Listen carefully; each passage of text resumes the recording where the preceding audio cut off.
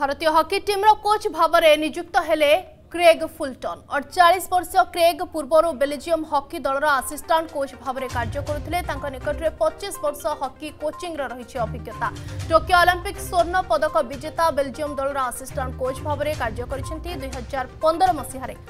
FI তরফর তাঁর শ্রেষ্ঠ coach ভাবে পুরস্কৃত করা যাই